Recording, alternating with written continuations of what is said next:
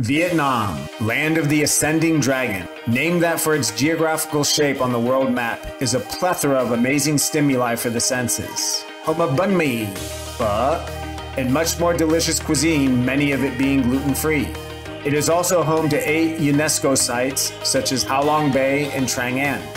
Amazingly awesome and friendly people, and organized chaos. From Saigon's ever growing city to the mountains of Sapa, Vietnam caters to all types of travelers. But Vietnam can be intimidating when arriving for the first time. Let me help you navigate this amazing country with tips, information, and visuals to prepare for your trip with my two week itinerary to Vietnam. Come join me for an adventure that will cover parts of southern, central, and northern Vietnam, six cities, and more. What's up, folks? It's Darewrecks, aka the Frisco Roamer. This video is a bit different than many of my other videos. Most of my travels are not planned and spontaneous. This particular trip I planned with my parents who wanted to see more of Vietnam. Before we begin, why don't you crush and like that subscribe button? We begin our adventure in Saigon, a popular tourist destination and also the business and financial hub of Vietnam. From there, we take a 33 hour trip by train to Hanoi, one of the world's ancient capitals. From Hanoi, we travel by private car to Ninh Binh, where we will pay a visit to Trang, a UNESCO site, and Bai Dinh Pagoda. Returning to Hanoi to rest, we then travel by bus to Ha Long Bay, another UNESCO site, on a five star, three day, two night cruise. We will return to Hanoi to rest yet again. Then travel by bus to Sapa, home to 8 out of 54 ethnic groups in Vietnam, such as the Hmong people, to spend three days exploring the area. We will return by bus to Hanoi to catch a plane to Da Nang, known as the tourist capital of South Central Vietnam and home to the Dragon Bridge. Then, by private car, finally, we reach Hoi An, known for its well preserved ancient town. Returning to Da Nang to rest, we then go to Hue, which at one time was the national capital of Vietnam. Then we return to Da Nang and fly back to Saigon.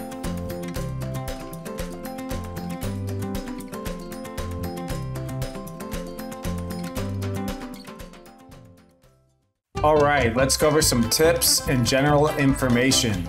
Always keep a roll of toilet paper on you. There are many bathrooms that don't have any. Super crucial. Could save you from a horrible mud butt in your pants experience. Get a SIM card. It's super easy and they will install it for you. Download and use the Grab app. I don't trust taxi drivers in Vietnam. I would rather have the price for a ride set at the beginning. If you want to go super cheap, always grab motorbikes, not cars. While there are many gluten free options out in Vietnam, I would recommend carrying a Vietnamese gluten free card, which you can Google and screenshot just in case. When walking the streets, look at the motorbikes, walk confidently and at an even pace, and the swarm of motorbikes will meander around you. That was the advice I was given when I first moved to Vietnam. It is not always 100%, which is why you always look. But if you're walking at a steady pace, they should go around you. The best way to travel in Vietnam is via motorbike. However, if you're a coward like me and you can afford to come out to Vietnam, chances are you can afford a private driver, especially if you're not solo. I was paying anywhere from 40 to 50 USD for a whole day with a private car. I also liked taking limos on shorter trips between one and two hours. Limos are merely luxury vans that are private and more comfortable than buses. Your dollar really stretches far in Vietnam. If you are in the Da Nang area and want a legit private driver, hit me up. I got friends. Planes can be cheap, especially VietJet, but expect a 60% chance of a delay, and then another 40% chance of an additional delay. Gate changes are common too. Sleeper buses also work for longer distances, and grab bikes and grab cars are great for traveling within cities. The train is an amazing experience, and I would recommend it at least once. Of all the places I have lived and traveled to, I think Vietnamese people are some of the most interesting people to photograph, and many of the Vietnamese are open to being photographed. This is personal to me, but there is just something about the culture, lifestyle, and people that really catches my attention. I'll share photos of people I've captured while giving more tips and advice so you don't have to see my face. We traveled during the months of November and December because the temperature wasn't too hot in the south and was fine in the north. Da Nang was flooding while we were in Vietnam, but when we were in Da Nang, it didn't rain while we went out, so we got lucky. Sapa begins to get super foggy around this time, making it difficult for seeing scenery. We were fortunate that it wasn't that bad. However, it did get cold in Sapa, especially in the evening. Also, you will see the rice paddies barren and lifeless during this time. The best time to go to Sapa is from March to May and September to October. September is when the rice is ready to harvest and you can see those amazing colors. Use common sense. While I feel Vietnam is safe, cats out there do like to snatch and grab. If you are in, say, District 1 Saigon taking videos or photos and not paying attention, someone might mob up on you via motorbike and snatch your bag or phone. People ride their motorbikes on the sidewalk as well. If I am on a motorbike and I got valuables like my camera gear, I tend to turn my backpack into a chest pack. Saigon, a city that doesn't sleep. Home to Landmark 81, the second tallest building in Southeast Asia and the 17th tallest building in the world. In addition, Saigon is known for its classic French architecture and incredible temples and pagodas. My journey begins on the other side of the city, in District 7, where many Westerners and Koreans call home. I lived in District 7 for three years and then moved to Taiwan. When COVID hit, I was no longer able to visit my family and friends who currently live in Vietnam. This was a long awaited opportunity to visit family, old friends, and make new ones.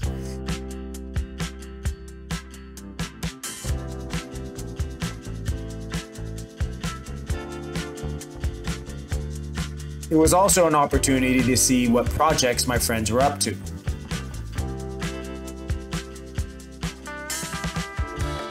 Our journey begins on a mildly hot evening at the train station in Saigon. This was the main part of our trip that wasn't really planned, but it was not difficult getting tickets for the train. My dad had heard some good things about taking the train, and I didn't question it. I never experienced it, and I'm usually always down to experience new things. I will not go into detail about the train trip.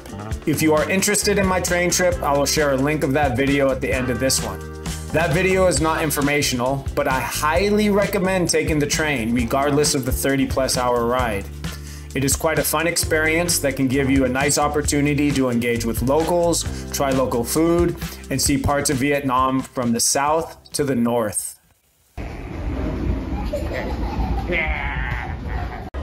Oh, yeah. All right, where's the party at? I had a good time. Oh.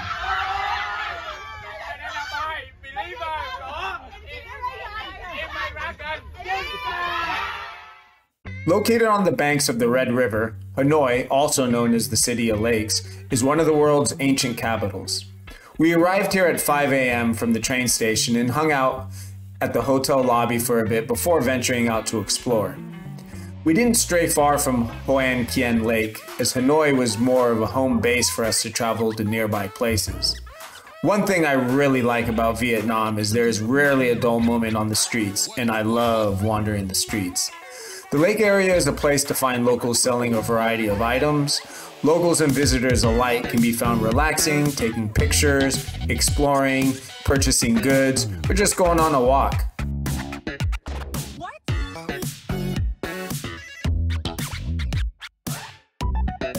Some areas of interest are Turtle Tower, Ngoc Son Temple, and Pen Tower. Whoa, what's this? Lotus Water Puppet Theater? I never saw a puppet show before. Come on, let's try something new. There were quite a few shorts that were comical, and we also learned some Vietnamese culture and history, including the legend of Hoan Kiem Lake in Turtle Tower. I would totally recommend going to the puppet theater. But it doesn't stop here. Nighttime is just as energized, if not more, than the daytime as you can find street performers and walking streets for people to enjoy a variety of activities. Walking the streets of Vietnam is always an adventure. Whoa, watch out for the kids driving around. One other place of interest located near the lake is the St. Joseph's Cathedral. another popular place with many shops and locals hanging out. Bai Dinh Temple is the largest temple complex in Southeast Asia. Surrounded by mountains and forests, Bai Dinh is a beautiful place boasting amazing architecture in an amazing landscape. Bai Dinh Mountain was founded by King Dinh Tien Hoang, and the ancient Bai Dinh Pagoda was built in 1136 by Master Nguyen Minh Khong. Since 2003, the pagoda has been restored and expanded with a total area of more than 1,000 hectares today. This amazing complex could take several days to explore in its entirety, especially if you are into photography and videography. I have been here twice and have not explored it all. While never visiting the complex at night, I saw pictures while there, and with all the lights, it gave it a completely different feel than during the day. I'm gonna have to go check it out one of these days.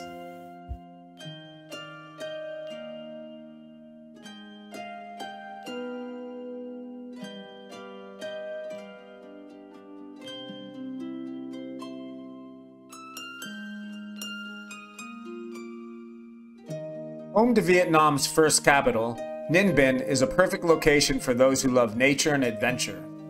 Trang An is a protected UNESCO World Heritage Site. If this is not enough, Kong, Skull Island movie, was filmed here. This was my second time in Trang An, and my parents loved it here. There are three routes you can choose from. My parents made me pick, and I chose the longest one as I wanted to maximize my time here. I have not done the other two routes. The beauty of Trang An did not disappoint. Come along and let's explore together.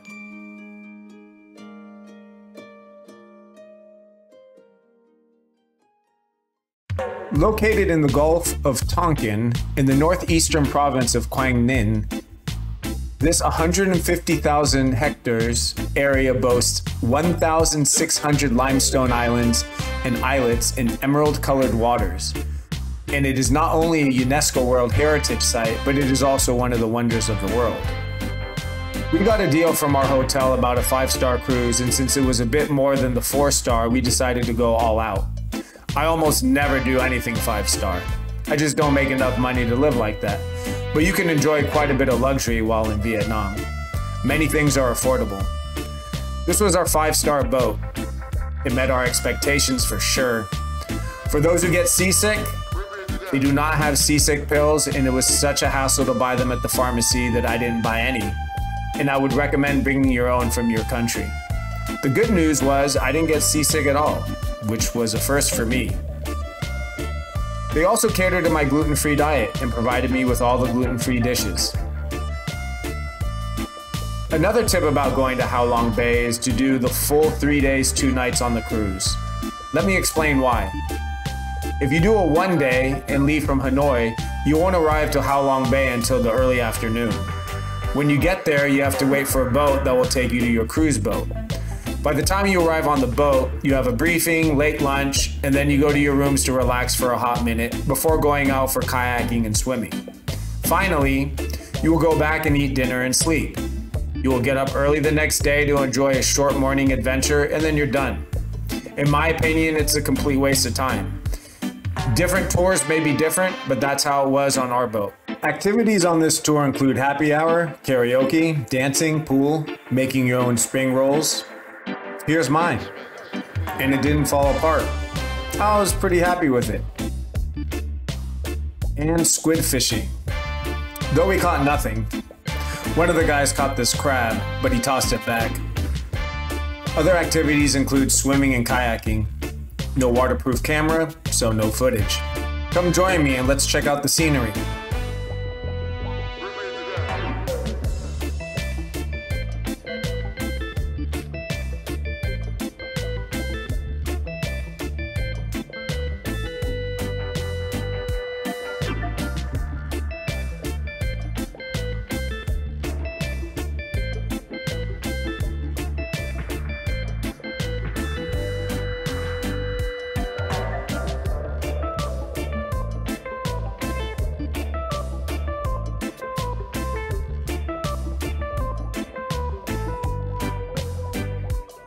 Cat Ba Island was a nice experience and it was good to get off the boat.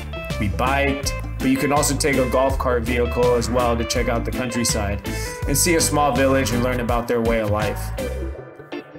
I'm not a fan of tours. I don't like traveling like a tourist. But sometimes you get a group that you have chemistry with. Our group consisted of a man from Greece, two men from Holland, and a couple from Sri Lanka, and us, Mexico and the United States.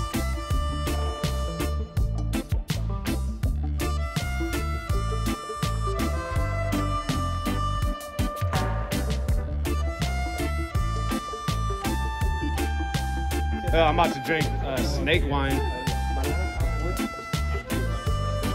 What, the snake one? Maybe try it with Yeah, okay, I'll try right now. Hold up. How do you say how do you say when you enjoy uh, cheer together in Vietnam with Sài Gòn? Uh, một hai ba yo. Một, hai, ba,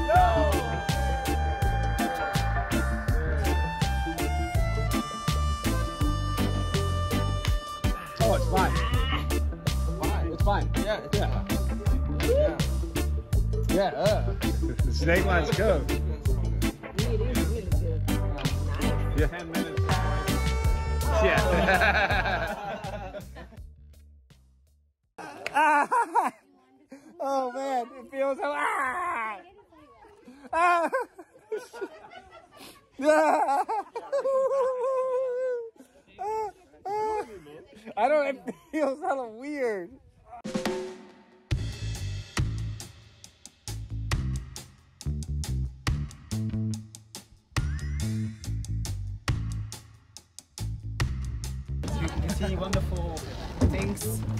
Are we gonna see monkeys?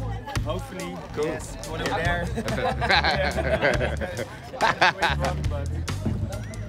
A very rare sight is the Cat Ba langur. They are endemic monkeys of Cat Ba Island. There are less than 60 left in the wild.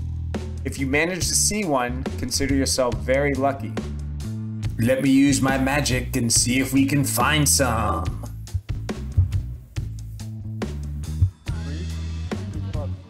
Yeah, I do- yeah, they're, they're there. Yeah. Come on, guys. Come out. Yeah, yeah, I see a little bit of yeah, yeah, yeah. There. Yeah. Ah. You see his head.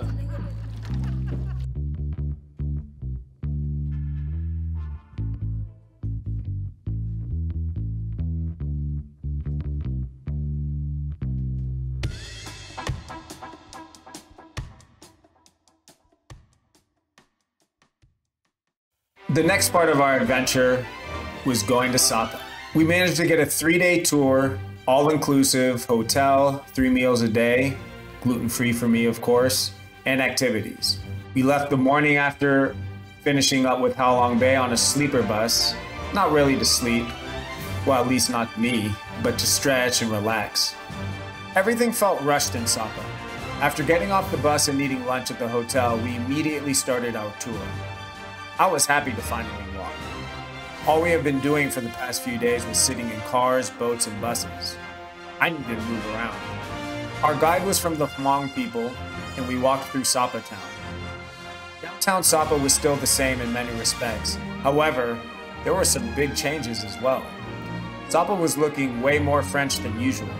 Buildings and areas have changed vastly since last coming here, but the people seem the same. We soon descended the valley on our way to Cat Cat Village. Let's see what we can find on our descent.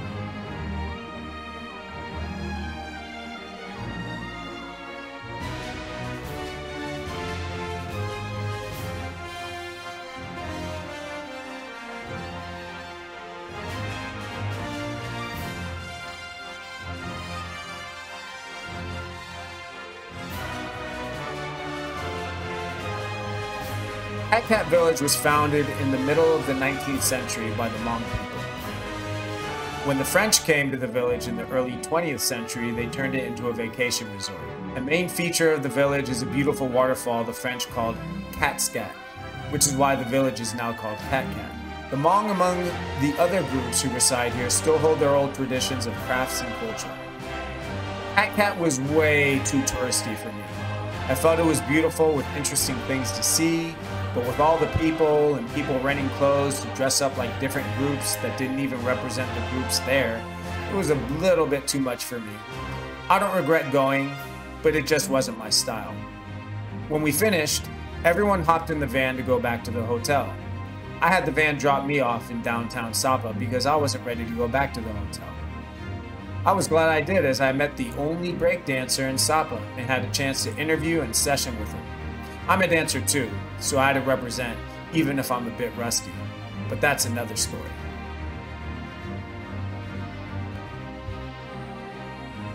Today we would walk the opposite direction with our final destination being Y Linh Ho Village. We would walk a bit in town before descending to the villages below. People think I like hiking. I actually don't. I hike because I enjoy photography and shooting videos, and oftentimes to see beautiful things you have to hike. I would rarely hike for the sake of hiking, but these walks were great because there was always something to see Scenery was constantly changing, and meeting people vastly different than me is always a cool thing. So I never thought about the time or how tired I was or how much farther we needed to go. I was always in the moment and enjoyed every minute of it. Come see for yourself.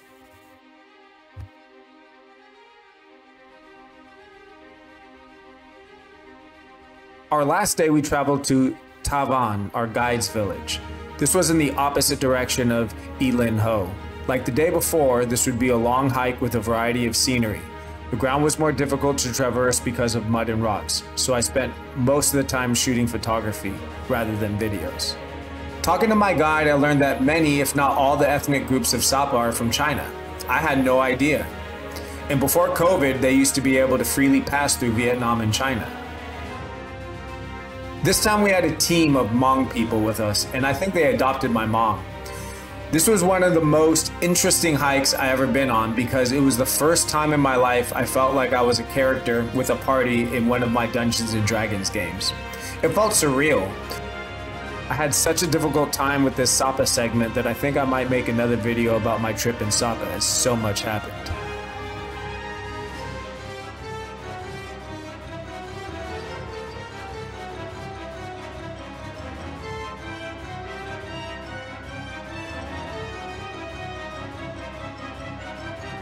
The Hmong people were great as they helped my mom walk the whole way.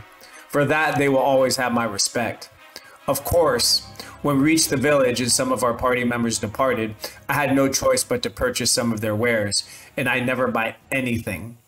But it was the only way I could show my appreciation for how well they took care of my mom. Known as the tourist capital of South Central Vietnam, it's known for its sandy beaches and history as a French colonial port. Da Nang is probably my favorite city in Vietnam and where I would consider living because it has a modern feel, it's by rivers and beaches, has a variety of cuisine, and has much less traffic than Saigon and Hanoi. Like Hanoi, Da Nang would be our home base while we explore places around the Da Nang area like Hoi An and Hue, and a couple of special locations. Remember how I said Hanoi was energized at night and all of Vietnam is like this? Well, Da Nang did not disappoint. It was cracking out here on these streets. Let's see what we can see.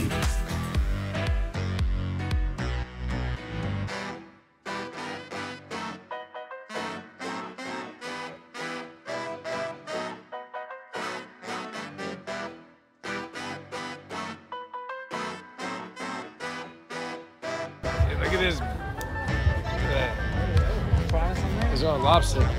Nah, I just ate dinner. If I if I didn't eat dinner and I knew you guys had all this, I would have came here and just ate right here. Maybe, yeah, I might come back here for dinner. tomorrow? Yeah. Every day? Every day, every night. Every night? Okay, yeah, then I might come back, man. 'cause- damn, this is good. Thank you, sir. Ooh. Our first mission outside of Da Nang City was My Son Sanctuary. After getting in, it was a short walk to the carts, then a short ride to its stop, followed by a longer walk, but still short, to the site. Oh, look in the distance. See that? We haven't seen a sign yet, but that looks interesting. Let's explore. Believe it or not, and this might be an extremely bold statement, but this might be my favorite ruins that I've ever seen. And I've seen Machu Picchu, Angkor Wat, Tulum in Mexico, and, and lots of more ruins. And the reasons are these. Number one, every time I go, it's almost always empty or just a couple of people there. And I've been there three times. Number two, it's under 10 USD to enter, and you get to see traditional dances and music shows on their stage. Number three, it's in the middle of the jungle, which adds to its mystique. Number four, the ruins are well maintained. Some of the sculptures and writings are still extremely detailed. I have not seen ruins kept this well in the 45 countries I've visited. Number five, it's a small location. There isn't that much walking or climbing. You hit a few sites within the area, see some live performances, and you're done. A unique culture developed between the 4th and 13th centuries who were spiritually involved in Indian Hinduism. Over 10 centuries, the temples were constructed in what was the homeland of the ruling Dua clan, which unified the Cham clans and established the kingdom of Champapura. Today, India and Vietnam have a joint effort in maintaining this amazing site. Sadly, many of the temples were destroyed during the Vietnam War. You can still see some of the craters today. Coconut Island was another spontaneous trip. Our driver asked us after we left My Son Sanctuary if we wanted to go there. I didn't research anything about it, and as usual, just said, yup, because I'd never been. Coconut Island was a fun experience. Cruising along on a spherical boat, seeing the buildings along the water, and watching other boats and people cruising along. No, doth my ears deceive me? No, that's Gangnam Style, the worst song ever created. No, stop! As we came around the mangrove, there was a man dancing on his boat for show. I'm not gonna lie, I find Gangnam Style to be one of the most irritating songs ever made. But for some reason, and I can't believe I'm saying this, but it just made sense. It was the perfect song for this occasion. And I couldn't help but just nod my head and enjoy the show. It worked so well. I would have preferred Gangnam Style over songs I love. Just this once. Afterwards, men were tossing nets into the river to fish. That is also a tourist attraction that my dad and I were able to try. Damn, look at my incredible form. Comes from all the dancing I've done. I was actually impressed with the photo. I thought I was going to fall into the river, but I did real well for my first time. My dad also gave it a go. I also want to add this. As this was a fun experience, our guide also explained as best he could that there was some bad history here with bombings and he looked visibly distraught. I was glad that he shared this information with me so I can understand the history in his perspective.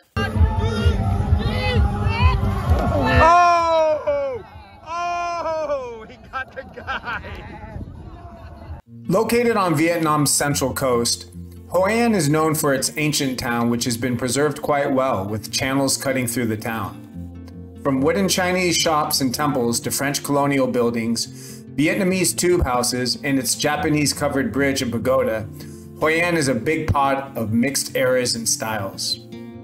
Hoi An is another UNESCO World Heritage Site known for its tailoring, silk shops, and silk trade. If you want to pimp yourself out, this is the spot to go to. We didn't have a plan here. We basically just wandered the streets and went window shopping. But as I said before, there's always something going on in the streets of Vietnam. So let's peep the scene.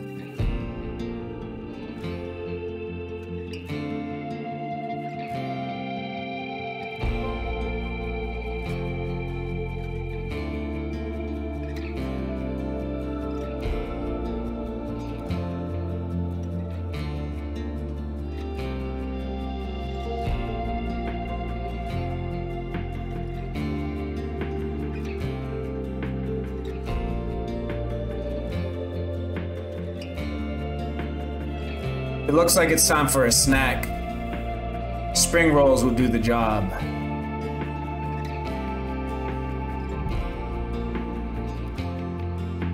Yum.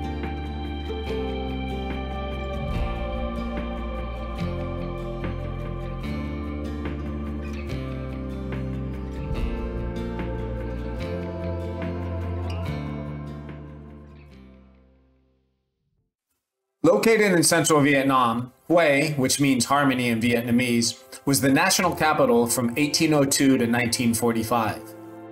Hue has over 100 pagodas, palaces, temples, and tombs. Vietnam's most prestigious university, and some would say Vietnam's most attractive woman. Hue is not only popular for its architecture, but also its food. Hue became the capital of Vietnam in 1802. It was the political, cultural, and religious center under the Nguyen dynasty until 1945. The citadel houses the imperial city. Within the imperial city are the Purple Forbidden City, outer court, temples and palaces of worship, inner court, gardens, and pavilions. Built in 1803 under Emperor Gia Long, it mainly served a ceremonial function during the French colonial period. After the end of the monarchy in 1945, it suffered neglect and damage during the Indochina Wars in the 1980s. The imperial city was designated as a UNESCO World Heritage Site in 1993. Let's explore the grounds.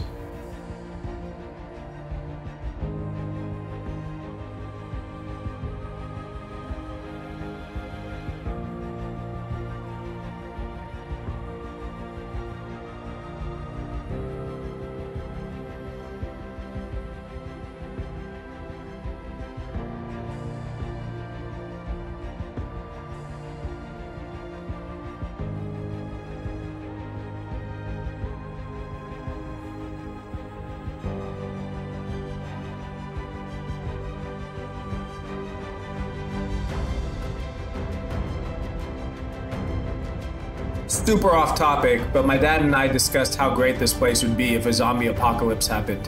It's got a moat, high walls, you can section off areas during an outbreak, grow crops.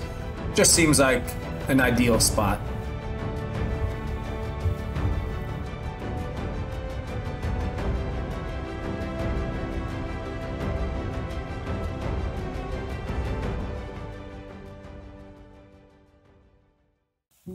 Dien Mu Pagoda was built in 1601 and stands on the bank of the Perfume River. In 1601, this pagoda was founded by Nguyen Hoang, governor of the Thuan Hoa province. Its buildings have been destroyed and rebuilt over time, several times. Since the 1960s, it has been a site of political demonstrations.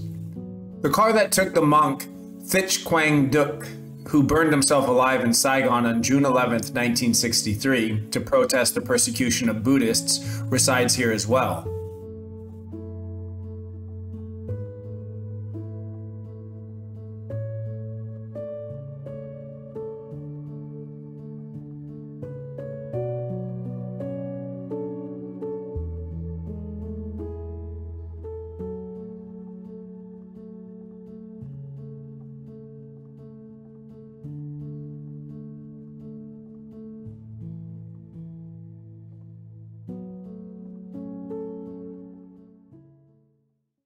Located on Chao Chu Mountain, Khai Dinh Tomb, which was recognized as a World Cultural Heritage Site by UNESCO in 1993, pretty much blew my mind with the architecture and details of the site. The tomb belongs to, of course, Khai Dinh, who was the emperor from 1885 to 1925. I don't have much more to say about this place, only that it's one of the most impressive places I've seen. Let me show you why.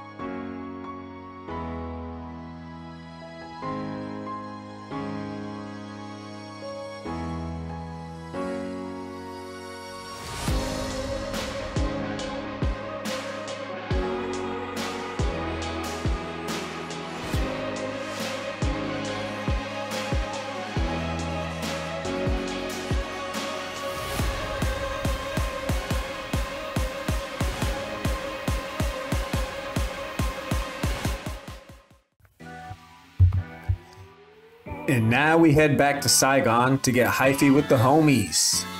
I wasn't a tourist in Saigon, but I will share a list of a few places you can visit while there. And there you have it. I hope that this video helps and inspires you to visit Vietnam. It's a great country to visit and to have as a home base as there are so many countries close by. Don't hesitate to ask questions or leave comments if you need additional help. This itinerary can be altered, of course, where you can spend more or less time in certain places. Finally, I don't know how others travel, so I can't comment on price, but you could do this trip minus the airfare for well under 1000 USD. Or you can spend more. It just depends how many tours you want to do, the types of hotels you stay at, and the restaurants you eat at, and how many people you travel with. All right, folks, peace and keep being curious.